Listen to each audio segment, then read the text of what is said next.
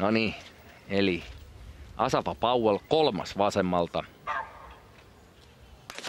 Ja heti päästään ensimmäiselle liikkeelle. Startti on sellainen, että Powell tulee nyt ehkä ei irtoa yhtä hyvin kuin tuossa alkuerän juoksussa, mutta mikä on aika se on. Ai, ai, ai, ai. Tuli kauden kärki tuossa, mutta katsotaanpa. Tuulta ei Nolla yhtään. Tuulessa, nolla se oli, tuulessa, voi 978.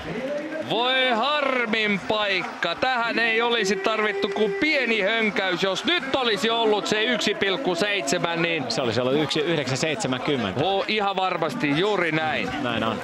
Oi, oi, oi, oi. Ja nyt on sitten aika Masafa Powellin myös Julia tuolta alkuerässä juoksemaan maailmanennätystä 974, mutta kuten kuva kertoo, niin nyt hän juoksi kauden kärkituloksen juhlikoon vaikka sitä tässä ja sinne menee, ai ai, nuo saattavat olla kalliit kukat, maailman ennätysmies, maailman ennätysiltona heittää kukat katsomaan, niin kyllä minä säilyttäisin ainakin nuo kukat alkuerän juoksussa myötäistä 1,7 metriä sekunnissa. Silloin meni hieman löysäten lopussa maailman ennätys 974.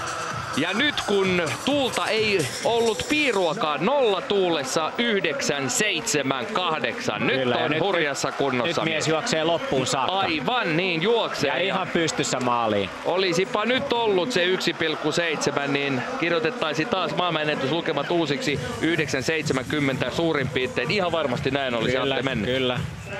Kyllä se vaikuttaa tuollainen yli puolentoista metrin myötälle tuolla selän takana, että se olisi ollut siellä 970 paikkeilla.